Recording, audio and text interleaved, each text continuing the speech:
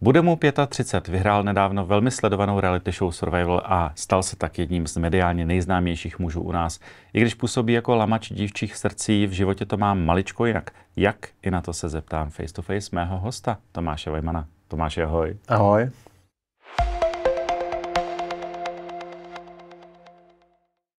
Tak jak se cítíš po návratu z ostrova? No, tak eh, zrovna dneska jsem eh, si uvědomil, že se asi cítím nejlíp, co jsem se kdy v životě cítil. A vlastně je to hrozně krásný pocit, protože eh, je, je, je mi prostě příjemně teď, jak to celý, jak to je, jakoby, jak jsem se vrátil, jak jsem si uvědomil spoustu věcí a, a jsem vlastně vděčný za to všechno, co mám, za ty lidi, který kolem sebe mám, za práci, kterou mám, za, za to, jak to prostě v tom životě teď funguje. Ale zvláštní je, že e, přesně, přesně v loni touhle dobou, tak jsem vlastně prožíval takový pravý opak. Že se mi v podstatě jako všechno, všechno sesypalo, ale takové ty důležité věci, jako, jako je zdraví, vztah, e, peníze, e, potom smrt otce, to mě hmm. taky dost zasáhlo, protože s tím byly spojeny i nějaké jako finanční, malý finanční problémy.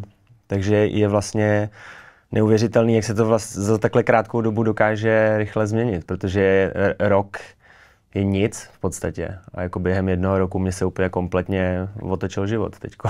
Takže survival, takže před a po bude před život. A, jo, jo, jo, před a, je, je to tak. Já vlastně, eh, mě bylo minulý rok 33 a od toho, od toho dne, kdy jsem slavil ty 33. narozeniny, tak se vlastně říká, že to jsou Kristové léta a že člověk, vlastně chlap začíná žít takový jakoby nový život. Hmm. A v podstatě tohle to se stalo, jako úplně, my, přijde mi, jak kdybych se znovu narodil normálně, ten od toho minulého roku. Takže je to, je to neuvěřitelné, je to taky kouzelný. Já tomu vlastně pořád ještě úplně nevěřím. Jo. Já mám vždycky takový, eh, takový chvíle během dne, kdy, kdy si říkám, je to vůbec jako teďko skutečný tohle?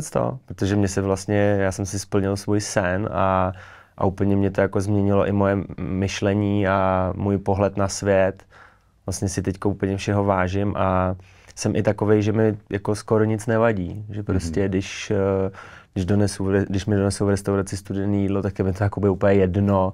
Když, když pojedu někde v tramvaji, vedle mě tam bude řvát dítě, tak je mi to taky úplně jedno. Když venku zmoknu na ulici, tak je mi to jedno. Když uh, nebudu den jíst, tak mi to taky vůbec nevadí. Tak Kuře melancholik. To... No, ale, ale ne takový, že by mi byly jako lhostejný ty věci, to vůbec. Jako zase, zase jako, kdybych viděl, že někomu někde ubližují, tak mu hmm. pomůžu a postavím se za nějakou dobrou věc, ale, ale prostě takový ty věci z okolí, co se týkají mě a který neovlivním, tak, eh, tak prostě, tak, tak to prostě je, no. No, uh, reality show, nakolik je to realita, nakolik je to show pro diváky? No, No.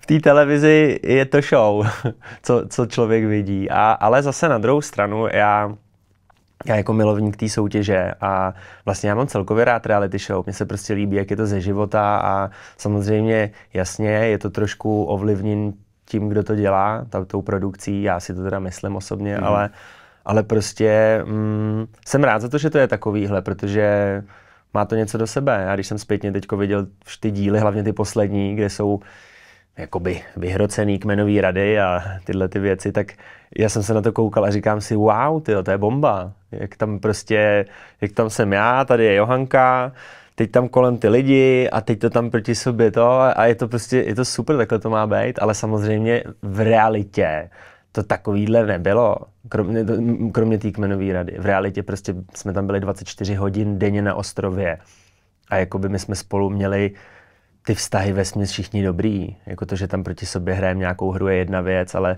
to, že prostě my se tam pak v našem volném čase normálně spolu bavíme o úplně normálních věcech a vlastně se máme všichni celkem rádi, tak jako to už člověk nevidí, že jo, v té televizi. Hmm. Bylo něco třeba, když jsi nastupoval do té soutěže, a o čem teda můžeš mluvit, co ti produkce uh, striktně zakázala, že třeba nesmíte, nebo naopak musíte? No tak nesmíme, my jsme tam jako nesměli nic v podstatě a to jsou věci, které možná si třeba lidi řeknou, že jako, že to říkáme, aby se jako neto, ale my tam fakt nesmíme nic. My tam, my jsme tam prostě fakt jak malí děti a, a ono je to jako příjemný být jako to malé dítě, protože najednou mm, nám vemou všechny starosti a my vlastně neřešíme nic, my řešíme úplně základní lidské potřeby. Záchod, jídlo, spaní, co budeme hrát, koho vyhodíme A, a to je vlastně celý. Ale pořád nám stojí za zády některý z reportérů nebo z, z té produkce a říkají nám, tam nesmíš, tady čekej, s tím se nebav, tohle nezbírej, tohle nejes, tam nemůžeš. A furt, a to je celý den. A jakoby vlastně to je možná to nejtěžší na celém tom Survivoru tohleto, že, že vlastně jako dospělý člověk, který ještě já jsem takový, že já třeba celý život mm, dělám sám na sebe, já jsem nikdy neměl nad sebou žádného šéfa, který by mi říkal, co mám dělat, já prostě jsem rád sám svým šéfem. A teď najednou tam jsem a musím prostě, musím poslechnout všechno. Mm-hmm. A, a je to těžký, je to hodně těžký, protože člověk má v sobě takový ty vnitřní, i, i trochu to ego a tyhle ty věci a, říká si, proč bychom měli tady poslouchat, teď já tady přece budu to, ale teda musím říct, že jako jsme to, jsme to zvládali, no, ale jako občas jsme taky měli nějaký úlety, že nám tam reporter řekl prostě, něco, ať tam čekáme. Teď jsme viděli, jak tam někdy oni jedí nějaký kus ovoce a prostě nám to vůbec nebylo příjemné. Teď za náma přišel ten reporter a ještě si z nás dělá takový jakoby srandičky, jenomže oni vůbec ne, jako nedokážou pochopit, v jakém jsme byli stavu, že jo? takže my jsme tam několikrát taky někdy jako vyjeli, a, ale oni to brali v pohodě naštěstí. No, když mluvíš o tom jídle, tak vlastně jste tam měli docela problém s jídlem. Uh, jak, to, jak to vlastně ve výsledku člověk snáší, protože říká se, že nej, nejvynervovanější chlap je hladový chlap. Takže... Naprostý souhlas. A zrovna, to máš u tebe, no. zrovna já jsem s tímhle úplně jako a já jsem tam jel a ještě si pamatuju, že jsem první věc, co jsem říkal někde, je, že já mám zkušenosti s hladověním. Já jsem sám zkoušel dva roky m, mm, pravidelně vždycky jednou za měsíc, jsem si dával dva, tři dny půsty protože vím, ale nedělal jsem to nějak kvůli psychice nebo tak, ale vím, že to pomáhá tomu tělu jako hmm. zevnitř, protože přece jen, když si vím, že do sebe non-stop cpeme nějaký jídlo a ty střeva dostávají neskutečně zabrat, tak je prostě podle mě mm, důležitý jednou za čas jim dát jako taky klid, klid na, hmm. na nějakou rekonvalescenci. No a já, já si pamatuju, jak jsem říkal i na jednom z prvních castingů a na nějakých těch eh, schůzkách, kde jsme byli, jsem říkal, hele, hlad, to je úplně v pohodě, to tam zvládnu úplně v klidu. A jakoby pro mě třeba ten hlad bylo to nejhorší tam. Hmm. Já prostě, a ono, i když se člověk podívá na ty první a poslední díly, já jsem teda zhubnul hodně, ale já když jsem jel na ostrov, tak já jsem měl asi 5% eh, tělesného tuku a vlastně jsem byl v takové svojí, mm, nevím, životní formě bych to řekl. Já prostě se snažím na sobě makat hodně, protože vím, že se pak cítím dobře. Takže já jsem tam odjížděl a vlastně jsem neměl moc co schazovat, když to třeba tam byla spousta jiných lidí, hráčů, který tam, když tam jeli, tak jakoby eh, byli trošku obéznější, jo, některý i trošku víc, takže uh, on, když ten člověk jako tam jede s nějakou tou tukovou zásobou, vypapanej, tak to jídlo snáší trošku líp, než člověk, hmm. který ten tuk nemá. A já teda, protože vím, že Martin třeba na konci ten říkal, že jako jídlo pro něj bylo úplně v pohodě. No jasně, no, protože tam ale přijel o 40 kg těžší, než, než jako by měl. A já jsem tam prostě jel mm, jako s, s, minimální zásobou. Mě se to prostě, hele, zhubnul jsem asi, já jsem měl asi 88 kg a na konci jsem měl nějakých 74, 75, no. Ale ono na to, že máš 5% hmm. tělesného tuku, tak jako to jsou všechno svaly a ty, jak, jak ztrácejí ty svaly, tak to tělo de facto háje. Že já jsem měl, já, já jak jsem tam zhubnul, Ono je nejhorší tam je po nějakých 10-14 dnech. To je opravdu jako největší šok. To člověk úplně zpracovává. Teď vlastně mě odešel všechen cukr z těla, teď ty svaly se mi, se mi stáhly a já jsem byl normálně jak, tyjo, jak, jak zombík. To, to se fakt jako třeba, a to se nedělo jenom mě, to se dělo třeba i Matějovi a klukům, že kolikrát během dne, když člověk jenom vstane, prostě, že si chce stoupnout a plíce, jak se mu zamotá neskutečně hlava a je to úplně vyčerpávající. Proto se na ty párty potom jenom jedl, že jo? Jo, no. přesně tak. Já jsem tam vlastně vždycky všude jenom jedl, jako až, až na tu slučovací party, kde nám inteligentní nápad prostě dát uh, alkohol před večeří po tom, co my jsme jako 55 dní skoro nejedli. No. Takže samozřejmě, jak jsme byli všichni napitý, tak, eh, tak já, jak jsem byl jako, jsme měli dvě margarity a asi tři piňakolády, jako nic převratného, ale ono v tu chvíli, kdy ten člověk nemá ten cukr a nemá nic, tak já byl normálně úplně, já i když jsem se viděl v té televizi, jak já tam sedím na té uh, večeři, teď tam jako rozeplou košilku, úplně tam něco s Žanetou se bavíme a já jsem normálně to jídlo, já jsem ho polikal, já jsem to nekousal, já jsem vždycky něco vzal, jsem to spolknul a tak jsem to tam jedl třeba tři čtvrtě hodiny, že jo? takže mi pak bylo úplně naprosto nejhůř. Jako. Když jsi se viděl potom sám, tak, tak, tak mohl ses vidět? Nebylo ti ze sebe třeba šoufl, nebo naopak jsem říkal, jo, vypadám dobře, i když vypadám hrozně po těch dvou měsících? Hele, měsících. takhle, uh, samozřejmě nevypadám dobře, když se na sebe podívám, ale jakoby Mně to jako nevadí se, se takhle vidět v té televizi, protože... To bylo poprvé, co jsi měl takovouhle zkušenost? Jo, to bylo poprvé. Tohle to jsem nikdy jako... Takovýhle extrém, jako že bych měl všechny tyhle ty věci. Hmm. A to se ani nedá jako zažít podle mě v normálním životě. Pokud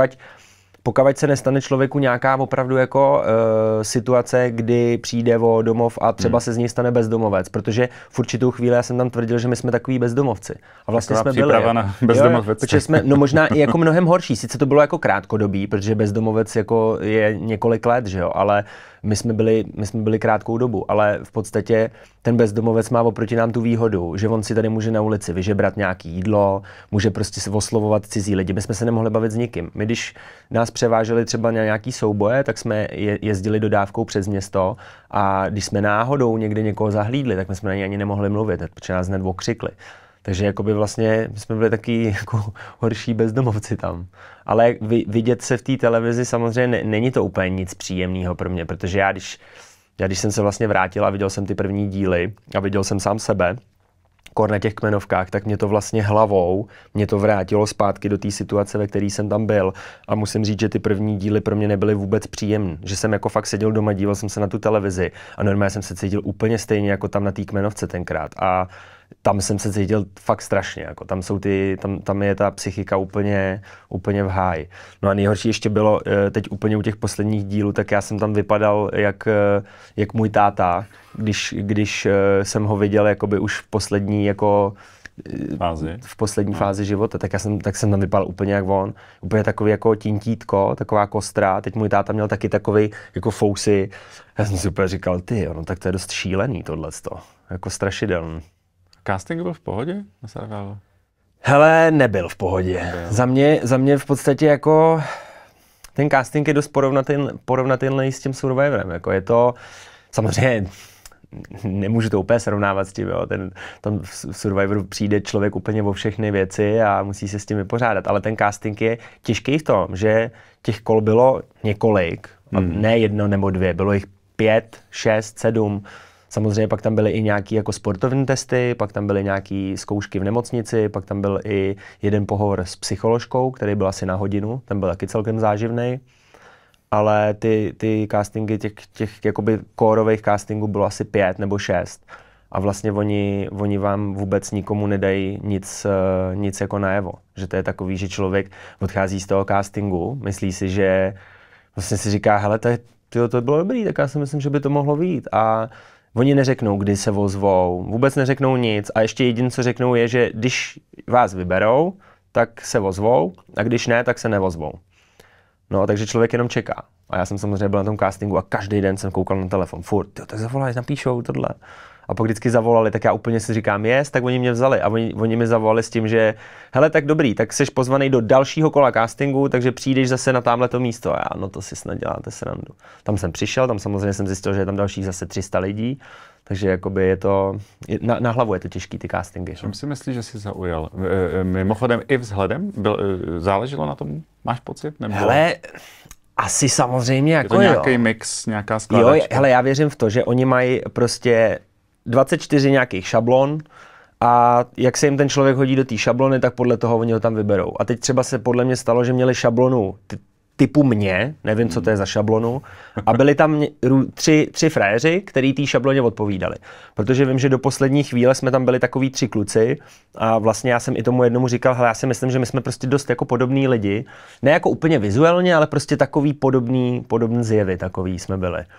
A takže si myslím, že vybírají takhle na základě těch šablon. No. A že eh, věř, myslím si taky, že oni už moc dobře vědí od prvního castingu, koho tam chtějí a koho ne. Já si tohle prostě myslím, protože já jsem třeba po prvním castingu se přiznám, že jsem měl pocit, že si říkám, hele, ty jako, myslím si, že mě vemou ale pak samozřejmě se to střídá, jo, pak zase si říkám, no tak nevím, a pak zase, že jo, a pak zase, že ne, ale protože já jsem ten první casting měl takový, že my jsme seděli vedle sebe, sedělo nás sedm a naproti nám byla produkce. A byla tam česká produkce, byla tam turecká produkce a mezi nimi ještě nějakých pár lidí.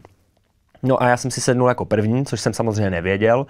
A oni mi podali mikrofon a řekl mi, tak tady máte mikrofon, tak nám něco řekněte. To je celý. A já říkám, no tak ty, co teď tady budu jako říkat. A říkám, hele, prostě nevím, prdím na to, mám jednu šanci, tak jim tady prostě řeknu to, hele, já jsem mluvil asi 40 minut. No má 40 minut jsem mluvil, jsem se rozkecal, teď oni jsem samozřejmě některých věcí se chytli, takže oni, jo, Tomáš, nás by ještě zajímalo, tak a já jsem samozřejmě takový, že já mluvím prostě o věcech otevřeně a jako jsem upřímný i k ním, takže je to asi bavilo. No a po těch 40 minutách, tak jsem dal ten mikrofon tomu dalšímu, ten na to zareagoval tím, že řekl, no tak teď nevím, co tady po Tomášovi budu mluvit. Takže jsem si říkal, hele, no tak to si asi jako úplně ne to. Nepomohl. no, ne, nepomohl. A takhle jako mluvil těch dalších asi pět, ty mluvili každý třeba fakt 10 minut, jako. A chytla se poslední nějaká holka, co tam byla, a ona začala něco povídat. A začala povídat něco typu, jako že je normální, když člověk bydlí ve 30 u rodičů a že vlastně jako nemá potřebu vůbec takovýchhle věcí. A já jsem tam na to úplně jako dělal jako nějaký takyhle grimasy. A teď oni se toho samozřejmě chytli, jo. A teď přesně on říká, no já jsem si nemohl povšimnout tamhle Tomáše, že jako se mu to nějak úplně nelíbí. A říkám, no to je jasné, že se mi tohle to nelíbí, protože to, co tady říká, prostě jako jsou nesmysly jako člověk.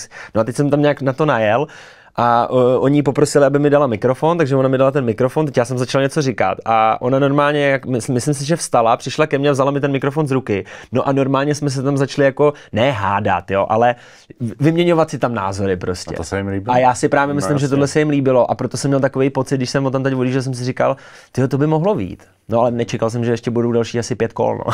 Takže jsi jim trošičku nastínil taktiku, s kterou by si šel do No, survival. jako takhle, nastínil jsem jim, nastínil jsem jim to, že, uh, že ty kmenové rady jako nenechám být.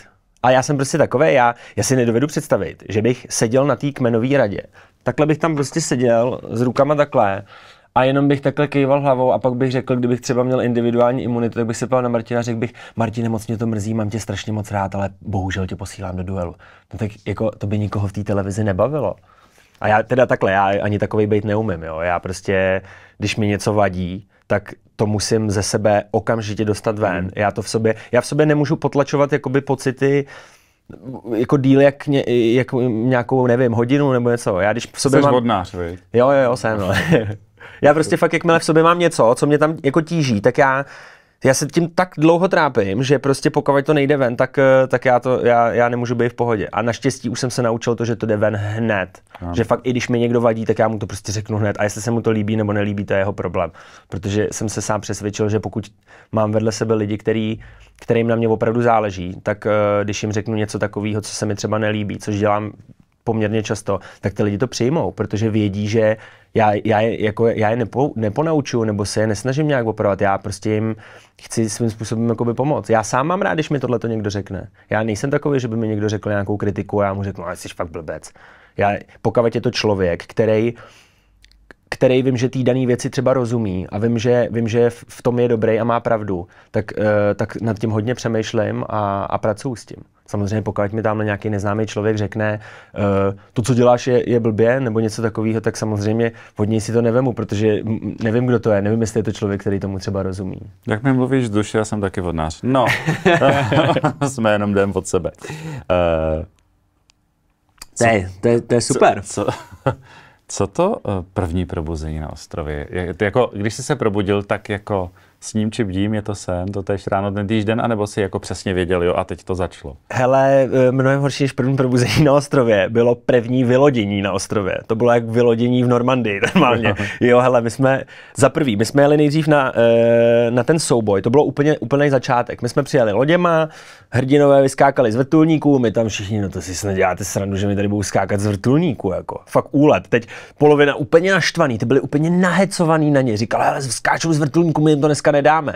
No a teď vlastně my jsme doplavali na tu pláž, nastoupili jsme tam a tam 50 kamer, 100 lidí, Ondra, druhý kmen, teď oni celebrity, my úplně neznámí lidi, teď já jsem se takhle díval na jeden na druhýho, teď všichni tam úplně takový, takový prostě, uh, takový cucáci vlastně jsme byli. No a do toho se to najednou rozjede, teď začne ta první hra, to je taky pocit, jo, protože ono, jak je to na několik fází třeba ta hra, tak já jsem byl v nějaký jako druhý, takže my tam vlastně celou dobu čekáme a čekáme na to, až vlastně Ondra řekne připraveni, start a v tu chvíli najednou pak člověk jako vyběhne a ono to čekání do té doby, než řekne ten start, tak to prostě, to, já jsem se takhle klepal celý, úplně v háji jsem z toho byl.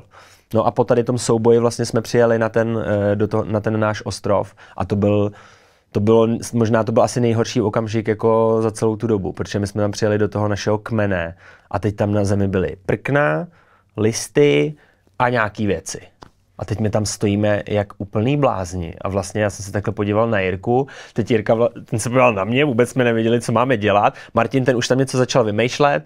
A teď jako najednou, postav tady něco, v čem budeš spát a vlastně jak to udělat. Já do té doby nikdy nic nestavil, že jo. Já jsem jako já jsem kluk z Prahy, z města. Já jsem celý život tady někde běhal po, po ulicích a nikdy v životě jsem nestavil žádný přístřežky v lese. Možná I když, to vypadalo jako víš. No ale i když, jako takhle, ono, uh, já jsem si uvědomil, nebo naučil jsem se, Survivor mě naučil to, že jakmile jsem v životě postavený před jakoukoliv věc, a vlastně není jiný východisko, tak všechno člověk zvládne. Všechno a každý. To je jedno, jestli jsem to já, nebo jestli je to kdokoliv jiný z toho kmene. Prostě člověk, jakmile je opravdu hozený uh, do té vody, tak prostě se naučí plavat. Komu jsi tam nejvíc věřil od začátku? A spletl se třeba v tom nakonec? Jako Komu že... jsem nejvíc věřil jako tím, že by mě nezradil v té hře? No, že jsi měl k němu nejblíž a říkal jsi si, tak tenhle bude jako, tak jako na mý straně víc. Hele, jako víc lidí jsem měl, hmm. nebo a myslím si to do dneška, ale jako samozřejmě úplně nejvíc, nejvíc, to byla Žaneta. Já jsem prostě věděl, že Žaneta je taková, že teď, teď to bez ní jako blbě, ale že by, že by vlastně obětovala sama sebe, abych já mohl dál v té hře jít, takový jsem z měl pocit a vlastně si toho neskutečně vážím do dneška a beru ji jako svoji skvělou kamarádku, protože ona je opravdu taková, ona, je, ona by se dokázala pro druhý jaký rozdat. A jako. nebylo to spíš jako jiná náklonost? Že, Samozřejmě jako, asi... Že zaláskování na první pohled? jako asi, asi určitě jo, ale, ale i tak prostě ona třeba se takhle chová i jako vůči jiným lidem. Jako vím, že třeba k jiným, co tam byli, třeba Jirka nebo Matěj, tak ne, neměla takový tak silný vztah jako ke mně, ale prostě chovala se k tím úplně stejně. Že prostě ona je taková, že by, že by někomu dala svoji ruku prostě. Ale on to jako zase takhle, on to v dnešním světě není úplně jako super vlastnost. Hmm. Ale u těch pár lidí, kteří třeba jí fakt uh, mají rádi taky, tak uh, si myslím, že to je fajn. Proč vám to pak jako nevyšlo, nebo vlastně pokoušeli jste se navázat v jako hlubší vztah? Se ženetou? Hmm. Hele, uh, já, já ne. Já nebo jste jsem... si říkali, že, že třeba uvidíte, až se vrátíte, tak třeba by z toho něco mohlo být na Takhle, díl. samozřejmě, já jsem si říkal, hele, tam je člověk úplně jako, jak to říct, tam jako ža- nulový libido, jako... Vůbec žádný. Úplně, ale jakože jako mrtvo. Jo? Normálně, jako fakt, jako normálně mrtvo, úplně. A musím říct, že se mi to vlastně táhlo až poměrně do, do nedávna ještě, jako. Nebál se, že to zůstane? No už trošku jo, už jsem si jako, ne fakt, jako třeba ještě 14 dní zpátky jsem si říkal, hele, to není možné, já nemám vůbec, vůbec nemám žádnou chuť na sex, vůbec mě jako nezajímali ženský, nic mě nezajímalo, vlastně jako úplně jsem byl takový jako, si říkám, hele, to je to, ale teďko teda uh, si, si, si, nějakou chvíli píšu s jednou ženou a ta to ve mně trošku probudila, takže...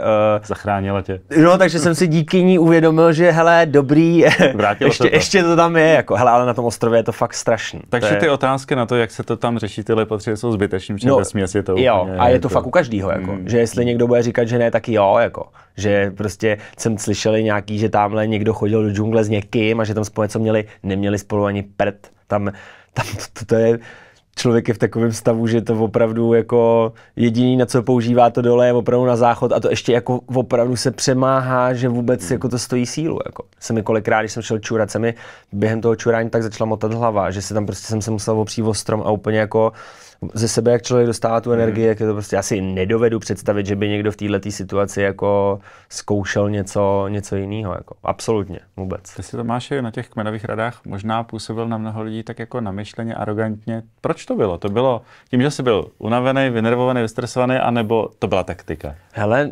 mm, jako takhle, já jenom ještě abych upřesnil, já už jsem to někde říkal a budu to říkat pořád, protože to tak je. Tady si lidi aroganci zaměňují se sebevědomím. Mm-hmm. A prostě věřím tomu, že uh, jakmile ty lidi třeba to sebevědomí nemají, mm. uh, tak prostě potom jakoby asi třeba svým způsobem možná trošku tomu člověku závidějí, tak začnou říkat, že je ten člověk arrogantní a že je takovej. Já se nepovažuji za arrogantního člověka na těch kmenovkách, i když to dneska zpětně vidím, tak mi to vůbec nepřijde jako arrogantní chování.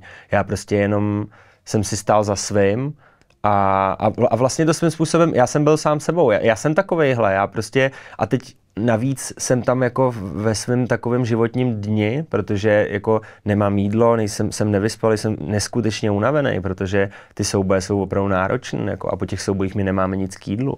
Takže jako fakt člověk je úplně jako vyšťavený do extrému.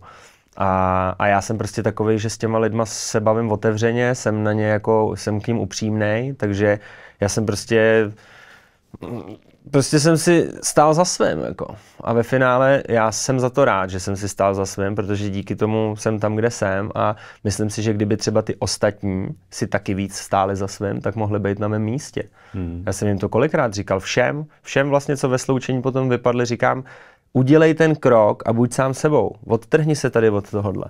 A teďko zpětně, ne všichni teda, ale třeba, abych e, zmínil, tak Kristián, tak tomu to potom od té doby vlastně hodně leželo v hlavě a musím říct, že ten za mnou jako už několikrát přišel s tím, že ho vlastně mrzí, jak se rozhod a že se mi tím chtěl omluvit a takhle. Já samozřejmě Jedna věc je, že po, po bitvě je každý generál, ale druhá věc je, že opravdu mi to dal najevo už několikrát a, a jako myslím si, že mu to v té hlavě sedí a jako aspoň, aspoň někomu to třeba došlo. Co ti dalo vítězství? Nemyslím teda jenom ty peníze, těch 2,5 milionu, jestli to za to stálo, to asi jo, ale co ti to dalo jako člověku?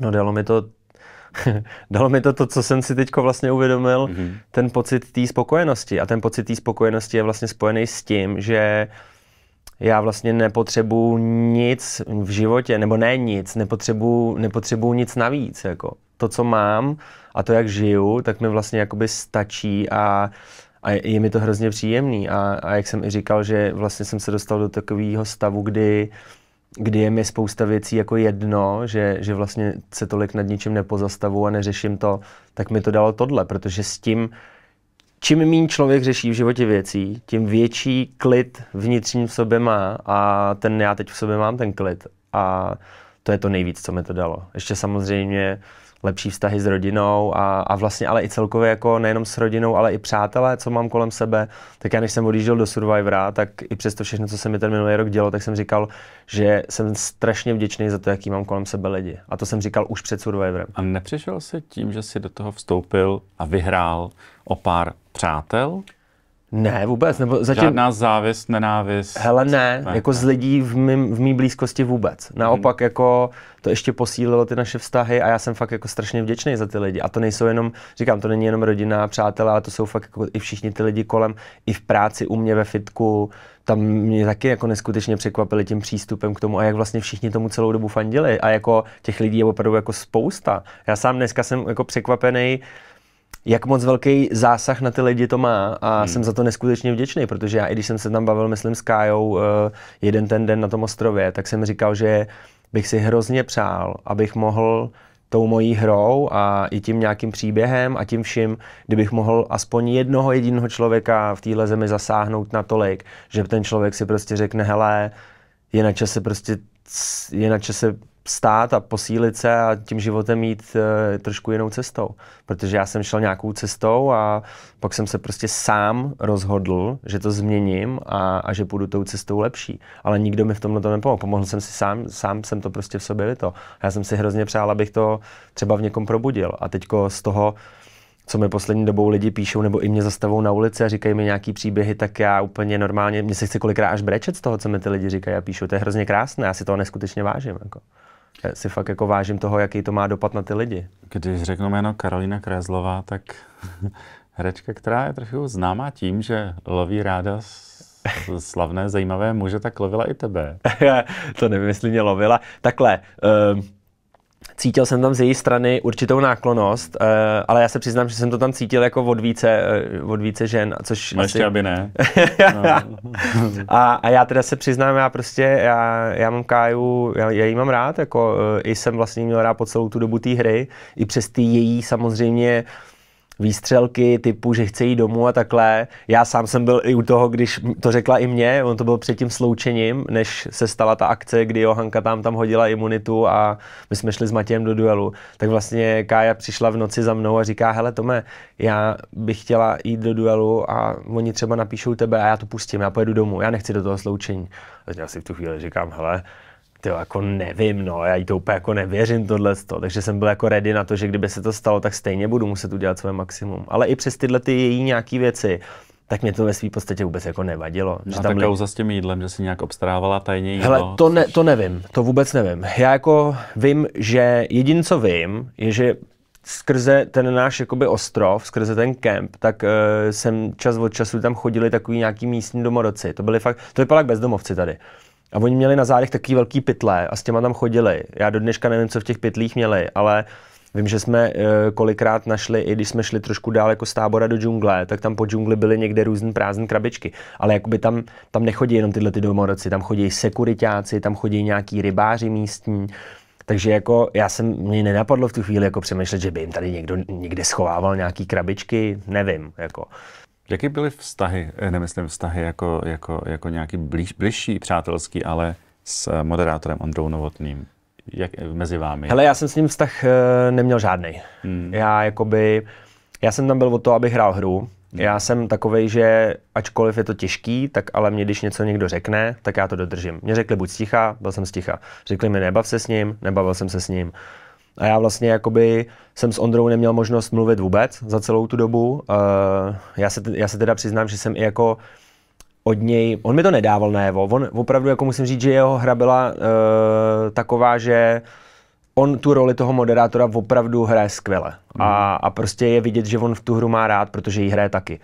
Ale měl jsem z něj pocit, že mi úplně nefandí. Mm. A měl jsem jako takový on to pocit... vlastně pak možná i někde řekl, že něco takového naznačil no, no, no. a vlastně já jsem se jenom v tom utvrdil, že to tak je a, a prostě tak to je, jako jestli, říkám, nemusí se všichni lidi na této planetě mít rádi, to ani nejde, jako. A, a mě to nikdy nedal vyloženě najevo a takže, takže, jakoby, takže úplně v pohodě. Ale já jsem jako za celou tu dobu vlastně, co jsem tam byl s ním, tak jsem se s ním snad jenom na té slučovací party, že jsme si řekli dvě věty, jinak vlastně vůbec. A a bylo to takhle jako se všema, no. že třeba první polovinu hry, vím, že Žaneta je taková dost, že se chce s každým kamarádit a bavit, takže vždycky, když jsme stáli na souboji o odměnu, tak ona tam na něj začala něco říkat, a, ale on si jako hned, hned si skrotil a dal jí najevo, že jako ne, že jako takhle si tady nebudou bavit jako kamarádi. Takže on to jako nesl hodně v tom duchu toho, že prostě fakt eh, hrajte tady hru a nebavte se s lidma kolem. Když tady seděl Pepa Kůrka na tvém místě, tak, seděl tady, jo? tak řekl, že nejenom, že si sáhnul na dno a na peklo, ale že podlezl peklo. Tak eh, šel ty by si do toho znovu? Jo, hele, já se teda ještě trošku napiju, ale já jsem, já bych do toho šel znova hned. Fakt? No jasně, ale až teď. Jo. Ne, jak, jak jsem vypadl, nebo teda vypadl, jak jsem skončil, tak jsem byl v tak dezolátním stavu, že samozřejmě jsem říkal, hele, já bych určitě o Survivor měl zájem, jestli tady bude za pár let Survivor, a, uh, Survivor All Star nebo něco takového, kde oni vyberou třeba ty vítěze nebo ty nejlepší, tak bych šel hned, ale v tu chvíli, jak jsem byl hned potom, tak říkám, no ale potřeboval bych nějakou dobu na nějakou rekonvalescenci, abych se dal dohromady, hlavně fyzicky, protože to tělo utrpí neskutečný šok, jako neskutečný. Já jsem byl úplně jako, a to, to mě třeba i do dneška mě trošku bolej klouby, jako v kolenou, hmm. kyčle mě bolej, protože jak jako člověk extrémně zhubne, tak ztratí i vlastně nějaký ty, ty tekutiny a ty gely, co má v těch kloubech a a je to strašně znát, takže jako až se člověk dá do, do pořádku. Teď už cítím, že už jsem vlastně možná i trošku víc než pořádku, takže bych samozřejmě byl ready, no. Ale jak si říkal, že Pepa si šáhnul na dno, věřím tomu, že si šáhnul na dno. Eh, já jsem si třeba úplně na dno nešáhnul, protože eh, jsem si šáhnul na dno už dřív v životě, na nějaký moje dno, ale tohle bylo zase takový, bylo to pro mě strašně těžký, bylo to pro mě strašně těžký, ale já třeba osobně bych to nenazýval dnem, ale tam má v té hře má každý svoji cestu, každý tam má svůj příběh hmm. a každému, každému to tam přijde v tu chvíli, ve kterou má. A já jsem tohle říkal od samého začátku té hry, že každý si tam jde pro to, co tam dostat má. A stojím si zatím i do dneška, protože my jsme kolikrát řešili nějaké věci i typu, že třeba jako první vypadla Tereska.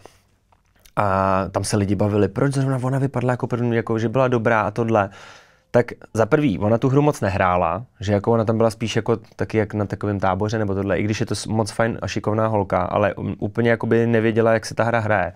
Ale dneska zpětně, když se na to podívám, tak ona si díky tomu Survivoru, třeba konkrétně Tereza, proto ji zmiňuji, tak vím, že ona si našla jakoby přítele nebo lásku a našla si ji díky tomu.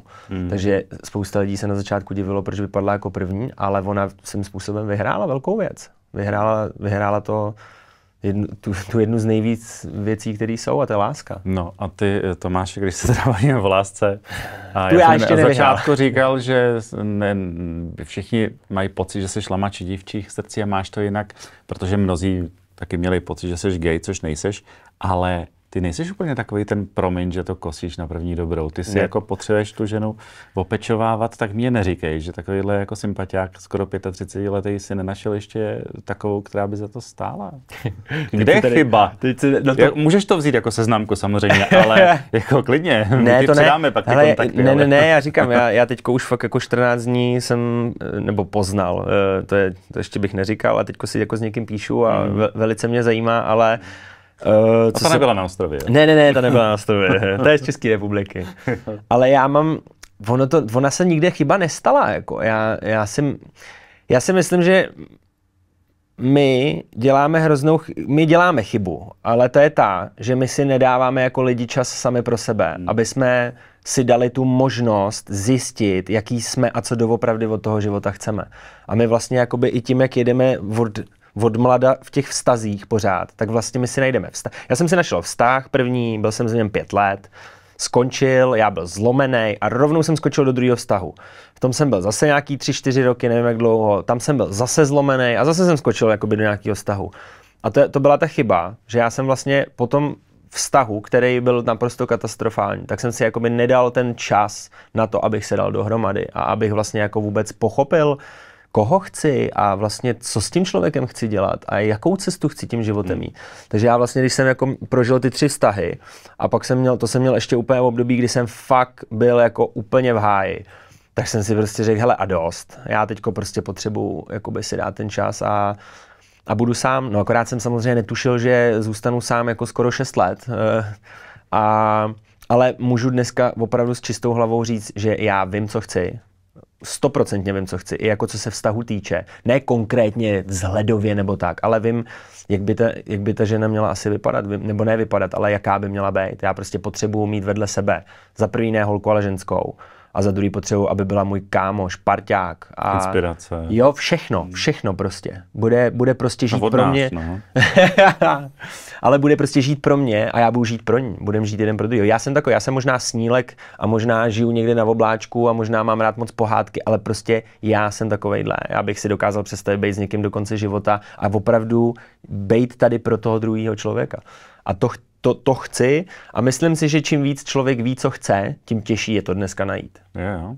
A já navíc jsem ještě takový, že jako nic nechci hledat, protože vím, že když to budu hledat, tak to, to nenajdu. To se prostě musí stát. To se musí stát, tady vylezu ze dveří, do někoho vrazím, bum a stalo se. Když jsi říkal, a my tě přejeme samozřejmě, abys, abys tu lásku, opravdovou lásku našel, aby ten vztah vyšel, aby to bylo minimálně na celý život. Ale když jsi říkal, že jsi si jindy prošel peklem, tak ty si to dospívání neměl jednoduchý. Byly tam drogy, byl tam alkohol, nebyly tam úplně utěšený vztahy. A dneska by do tebe nikdo tohle neřekl. Tak co ti nejvíc pomohlo? Co tě vlastně jako, kromě mm, reality show, který jsi se teď vrátil nedávno, jo, jo, co, hele, tě, co tě jako vzpamatovalo? No to já právě nedokážu říct. To je něco, něco co je ve mně. A já, já, já asi jako věřím tomu, že to asi v sobě nemá každý člověk, ale já prostě eh, od určitý chvíle mýho života mám prostě strašně silnou vůli. Mm-hmm. A já opravdu, když, když něco jakoby chci, nebo když mi něco vadí, tak to prostě já nebudu. A, a prostě jsem se to nějak v sobě jako naučil tohleto, ale mě, mě, mě jako nejvíc pomohlo to, že jsem se prostě uzavřel sám, sám do sebe a vlastně já jsem se i na, na nějakou delší dobu uzavřel úplně i před světem. To jsi odjel někam, ne? Do Jižní Koreje? Jo, jo byl, jsem, byl jsem dva měsíce v Jižní Koreji, no. Tam, tam, tam, od tam teď jsem si vlastně odvezl meditování, který mi nejvíc změnilo život. A medituju do dneška, medituju každý den a vím, že to je, to vlastně asi stojí za celým tím mým nějakým tím, jaký jsem, protože to, to, to pro mě bylo jako největší game changer, bych to nazval, meditování. Ale samozřejmě lidi mi pak dneska říkají, kolik, kolikrát se s někým bavím a říkám, jo, já taky medituju, já medituju, když vařím, nebo já medituju, když uklízím. No já říkám, hele, to není meditování. Meditování je, když si prostě sedneš, zavřeš oči a 10, 15, 20, 30 minut sedíš se zavřenýma očima a jenom necháváš běžet svoje myšlenky. To je meditování.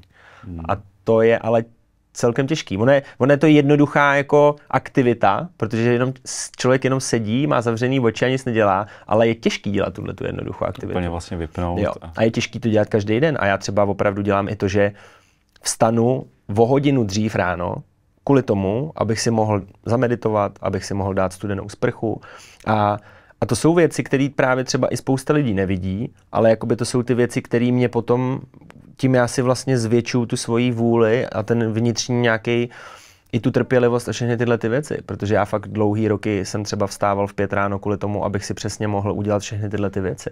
Já sám nemám rád, když bych stal, když budu pracovat od sedmi od rána a že vstanu v 6.30, hmm. rychle se oblíknu a jedu do práce. Já, kvůli, já potřebuji stát v pět, potřebuji si v klidu, v klidu si vyčistím zuby, zamedituju si, dám si studenou sprchu, dám si zelený čaj, jdu se projít se psama a prostě mě to, celkově mě to nastaví. Ale samozřejmě to jsou věci, které jsou strašně těžké, jako tohle.